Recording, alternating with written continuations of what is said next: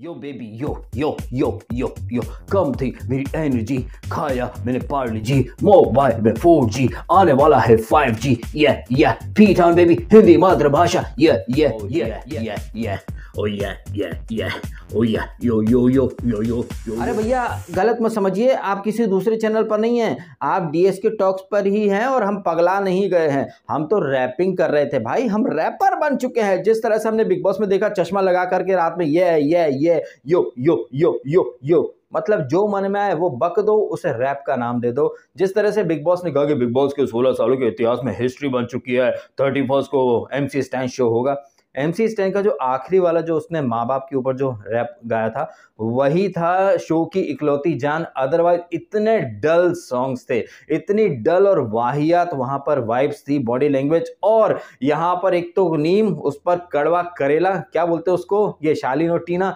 भाई साहब, शालीन के बारे में हमने बोला था कि Shaleen is a good artist who can draw the attention इस तरह से अटेंशन लेते, अरे भाई साहब, जैसा कि हमने प्रोमो देखा जहाँ पर शेव और साजिद ये सब बात कर रहे हैं कि ये जब ये एम सी स्टैंड का शो शुरू हो, उसके पहले ये दोनों लड़ रहे थे।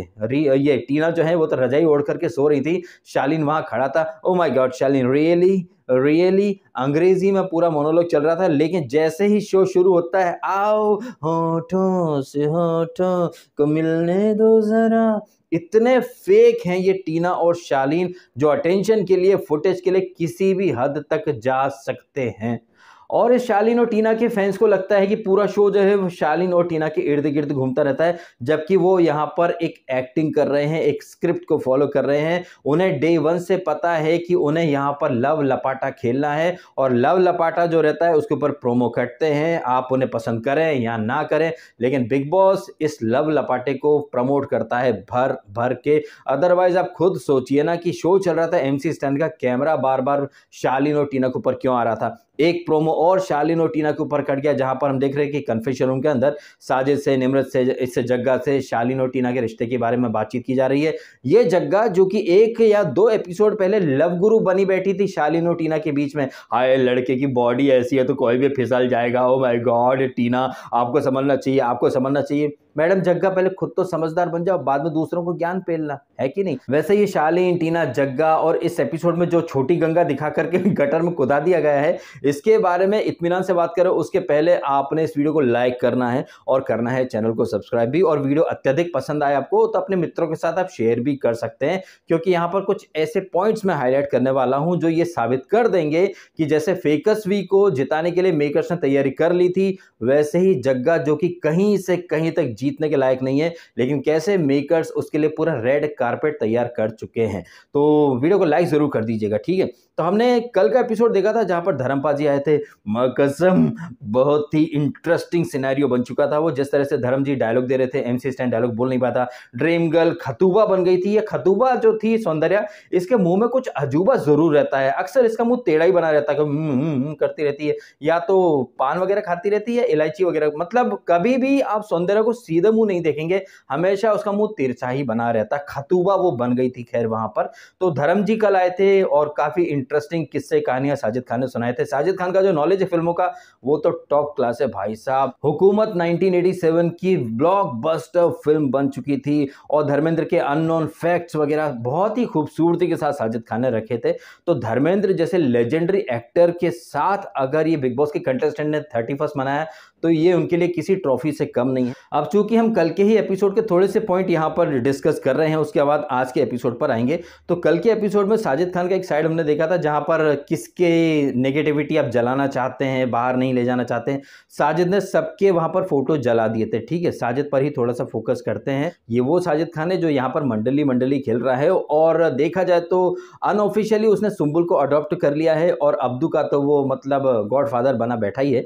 इस एपिसोड में यानी कि आज के एपिसोड में वो अब्दू को समझाने की कोशिश भी करता है कि जग्गा ने तुझे ही क्यों लड्डू दिया? हालाँकि अब्दू के अपने अलग अलग लॉजिक हैं। जब अब्दू गया था, उस वीक अब्दू की पीठ पर कुछ टट्टी वाला कुछ लिख दिया था साजिद खान ने और अब्दू थोड़ा सा हर्ट भी था। अब्दू जब वापस आया तो उसने डिस्टेंस मेंटेन करके रखा था साजिद से और निमरत से, ठीक है? और अब्दू जब आया था तो गर्म जोशी के साथ वो शिव से मिला था और कहा था bro you are the best लेकिन कल के एपिसोड में जब लड्डू खिलाने की बारी आती है तो वो साजिद को लड्डू खिलाता है, ठीक है? अब्दू का भी डबल गेम समझिए, शिव को बेस्ट बोलता है, लेकिन लड्डू खिलाता साजिद को, यही नहीं पहले भी हम कई दफ़े देख चुके हैं, जब जब कुछ अच्छा या फिर कुछ टास्क होती है तो वो शिव को हमेशा इग्नोर करता है, लेकिन साजिद को हमेशा प्रायोरिटी पर रखता है और ये साजिद सबके फ़ोटो फाड़ देता है कि वो किसी से कुछ नहीं रखना चाहता है। और साजिद एक नंबर का दोगला प्राणी है, अब्दू ने इसके सारे चिट्ठे देख रखे हैं बाहर से। अच्छा बाहर से याद आया, अब्दू जब गया था तो बिग बॉस ने क्या बोला था कि बिग बॉस आपको सिर्फ़ आपके प्रोफेशनल काम के लिए परमिशन दे रहे हैं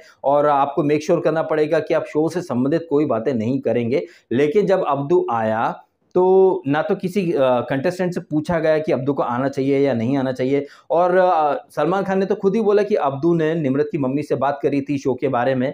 तो एक तरफ़ बिग बॉस कहता है कि बाहर अगर आप जा रहे हैं तो शो के बारे में कोई बातचीत नहीं करेंगे। वहीं दूसरी तरफ़ खुद सलमान खान बोलते कि शो के बारे में बाहर बातें हुई थी। अब्दू की टीम के साथ साथ निमरत की मम्मी ने भी अब्दू से बात करी थी। और मुझे याद आ रहा है कि बिग बॉस ने कहा था ये कि अगर आप वहाँ पर बाहर कुछ बातें करेंगे तो फिर बिग बॉस को कुछ ठोस फैसले या ऐसा कुछ लेना पड़ेगा या जैसे कि बाकी कंटेस्टेंट से पूछा जाए कि अलाउ करना है या नहीं करना है। लेकिन ऐसा कुछ भी नहीं हुआ। रेड कारपेट बिछ गया। अब्दू आया, आते से ही साजिद से, निमरत से डिस्टेंस मेंटेन करा। लेकिन वही अब्दू साजिद को अपना खास बोलता है, लड्डू खिला देता है। शिव को आते से ही बेस्ट बड़ी बोलता है, लेकिन शिव को वो उतनी इंपॉर्टेंस या रिस्पेक्ट देता नहीं है। हालाँकि यहाँ पर वो टीना से बात कर रहा था, माहिम का वो जो डॉग हाउस है, जो भी है, उसके अंदर बैठ करके, कि इस घर में सिर्फ़ साजिद और शिव ही उसके लिए प्रायोरिटी पर है। एमसी स्टैन को भी वो अपनी प्रायोरिटी पर नहीं रखता है। कहने का मतलब है कि दोस्त पीठ पीछे बातें करते हैं। और ये बात किससे कर रहा था वो?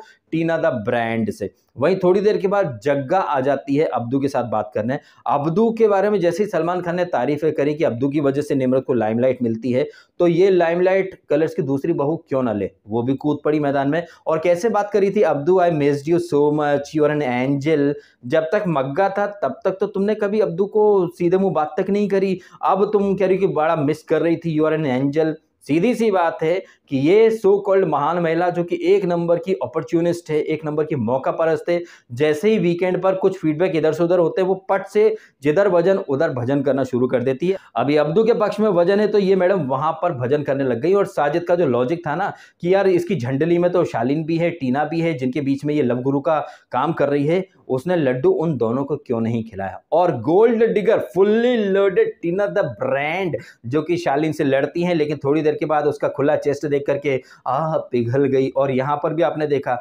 माइक छुपा रहा है लव यू लव यू खेल रहे हैं, थोड़ी देर पहले लड़ रहे थे। ऐसे लोगों को मतलब लो, कैसे लोग सपोर्ट कर सकते हैं? शालीन टीना की कोई क्रेडिबिलिटी नहीं है उनका तो कोई कैरेक्टर ही नहीं है भाई साहब। वो वहाँ पर सिर्फ़ और सिर्फ़ मेकर्स का जो लव लपाटा है ना उसको इम्प्लीमेंट करने की कोशिश कर रहे हैं। और आई थिंक जैसे कि सलमान खान ऑलरेडी हिंट तो दे ही चुके हैं कि दलजीत ने अपना नंबर बदल लिया है ब्लॉक भी कर दिया है। तो वो शालीन जो कि सूर्यपुत्र कर्ण में दुर्योधन का किरदार निभा चुका है, यानी कि शकुनी के भांजे का किरदार निभा चुका है। यहाँ बिग बॉस के अंदर वो उसी मोड में शकुनी पंथी चला रहा है, लेकिन खुद को वो कन्हैया समझ रहा है, जिस तरह से वो सखी सखी करता रहता है, जग्गा को कि सखी, मैं ऐसा हूँ, सखी ओवर एक्टिंग तो कॉम्प्लीमेंट है, सखी सखी, क्या बात है। सखी ने तो तुम्हें लड्डू दिया नहीं, सखी ने तो अबदू को लड्डू दिया था। तो कैसे ये इक्वेशंस कितनी फेक हैं, आपको समझ में आ जाना चाहिए।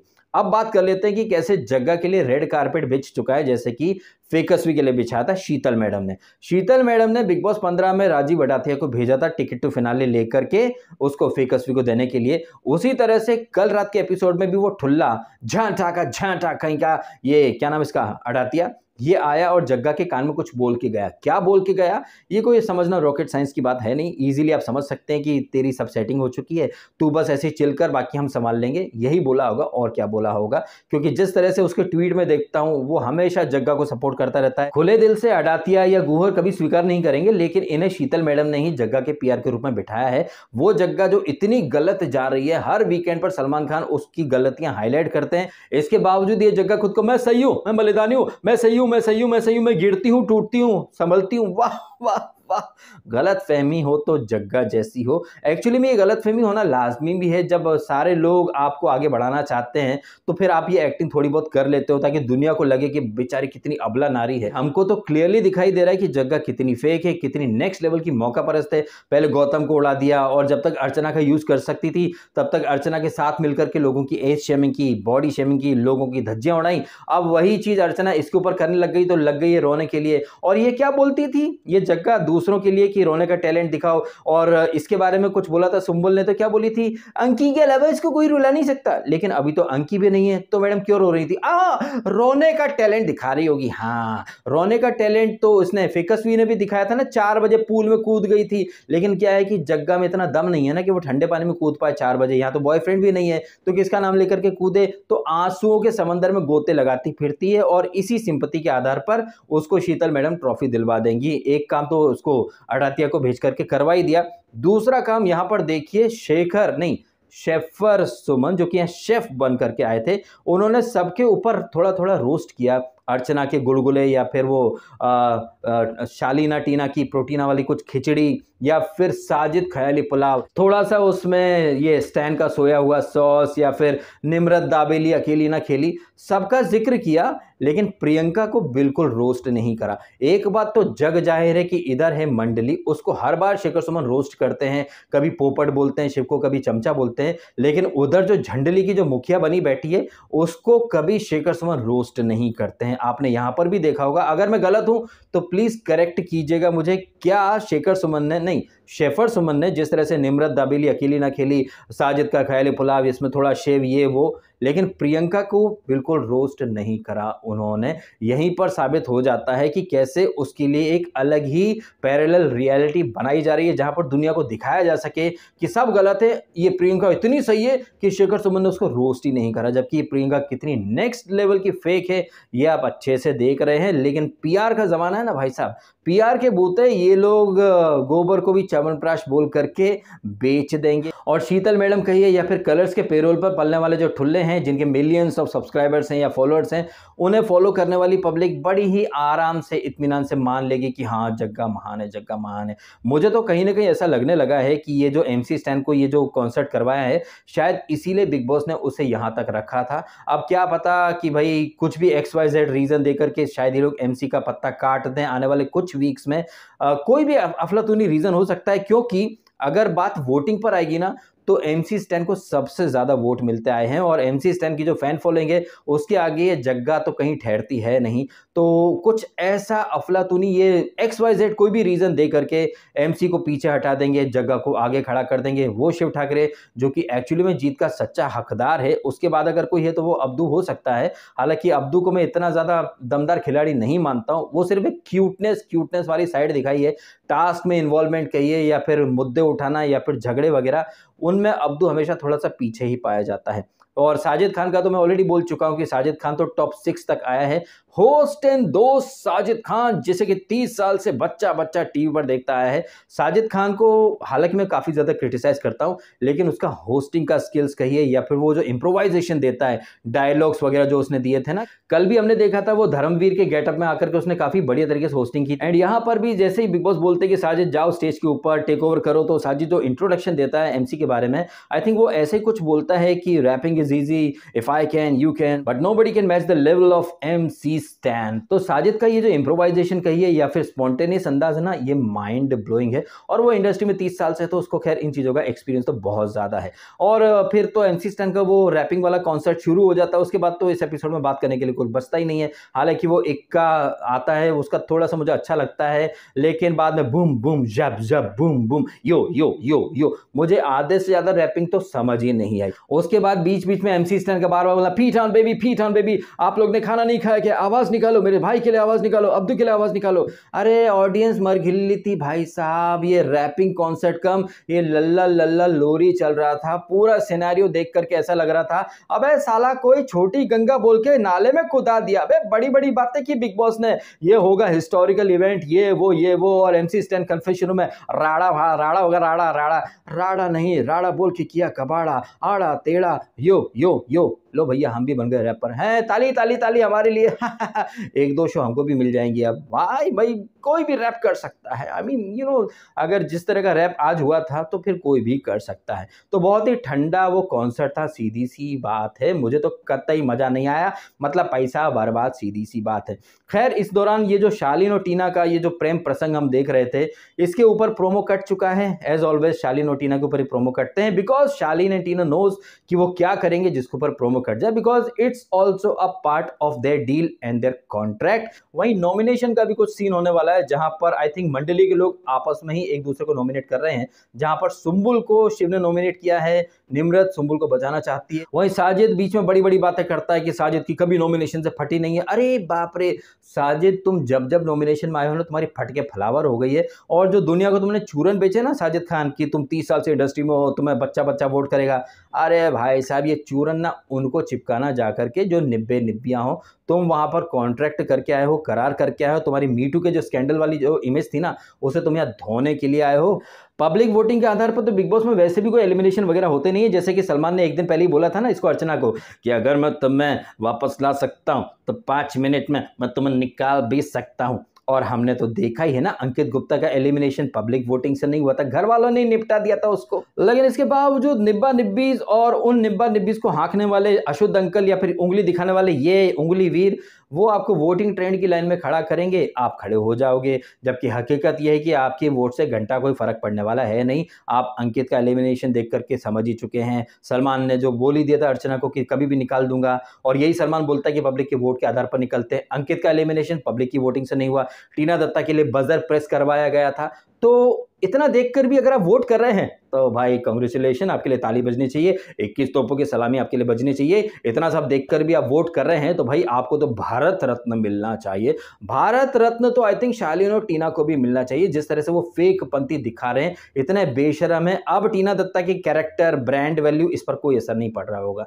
तो टीना दत्ता के बारे में जो श्रीजता ने बोला था ना फुल्ली लोडेड वो दिखा रही है कि पैसे के लिए वो कुछ भी कर सकती है। पट से थूकती है, पट से चाटती है, पट से थूकती है, पट से चाटती है। और साजिद खान ने जैसा कहा था ना टीना दत्ता को आई थिंक परसों के एपिसोड में, जब ये मोहतरमा कीचड़ वाली टास्क के बाद तुनक करके निकली थी, ओ Shaleen Bhanot you are very fake you are very cheap don't talk to me I will never talk to you और साजिद क्या बोलता है? पाँच मिनट में बात करेगी। पाँच मिनट के पाँच सेकंड में ये टीना दत्ता द ब्रांड थूक थूक करके चाट लेती है। तो ये जो झंडली के लोग हैं ना, इनमें थूक कर चाटने का टैलेंट बहुत प्रचंड है। जग्गा जितना थूकती है, उतना ही चाट लेती है। दूसरों को रोने का टैलेंट टैलेंट बोलती रहती है, खुद भर भर के रोती रहती है। अभी कुछ दिन पहले तक ये अब्दू को दो कौड़ी का भाव नहीं देती थी। सडनली अब्दू बहुत अच्छा है। कुछ दिन पहले तक आरचू आरचू बेबी करती थी, अब आरचू बेबी कचरा हो गई है। कुछ दिन पहले तक ये शालीन और टीना बड़े फेक थे, इसके लिए अब ये इसके सगे हो चुके हैं।